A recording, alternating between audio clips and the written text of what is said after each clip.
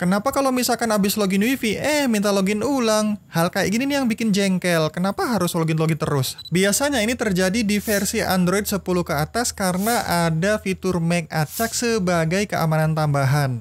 Apa tuh MAC address? Bukan MAC yang ini ya.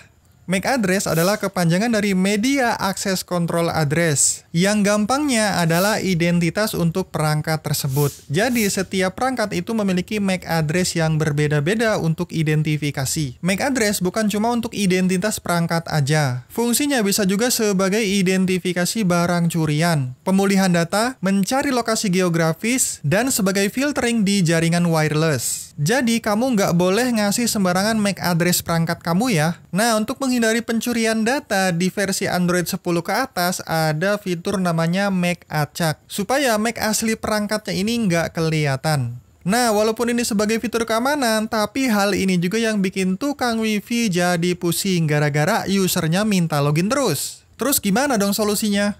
Gampang kok, tinggal matiin aja MAC acaknya. Di sini aku pakai HP Android Realme C11 2021. Tinggal aktifin Wi-Fi-nya, terus sambungin ke Wi-Fi. Biasanya kan bakalan muncul login ya. Ini kita kembali dulu, terus klik pengaturan di sebelah nama Wi-Fi-nya. Geser ke bawah, cari pengaturan privacy dan ganti MAC acaknya ke MAC perangkat. Selesai. Nah, kalau misalkan iPhone gimana? Gampang juga. Tinggal masuk ke pengaturan Wi-Fi-nya, klik tanda seru di sebelah nama Wi-Fi, matikan tombol private address-nya, dan selesai.